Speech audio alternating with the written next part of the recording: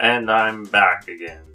So for today's vlog, I want to talk about what really interests me or if there's anything that really interests me. Like there's that saying, if you do what you love for work, then you never have to work a day in your life. Goes something like that. And I obviously want to have a job that I like and not just to tolerate for a while. But what really interests me enough that I could make a living at it. Like I know I did go to college for filmmaking and yeah, I, I like that and it interests me, but I'm not sure if it like clicks for me where I just know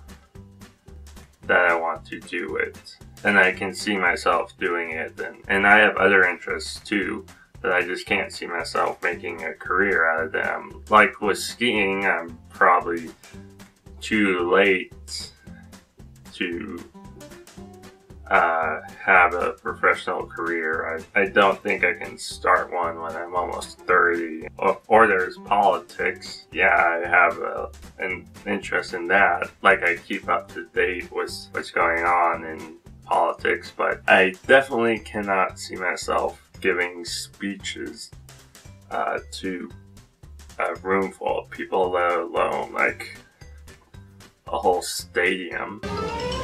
My fellow Americans, I am not a crook.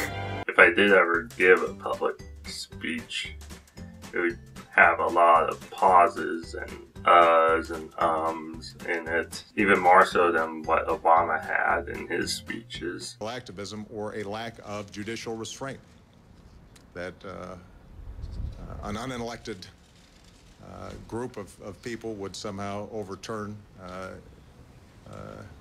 a duly constituted and, and passed. Uh, so yeah, maybe I just haven't found what really interests me yet. Maybe it's still out there. Or maybe I have and I just haven't pursued it enough. Who knows? I'll just have to see. That's it for today's vlog. Until next video, goodbye.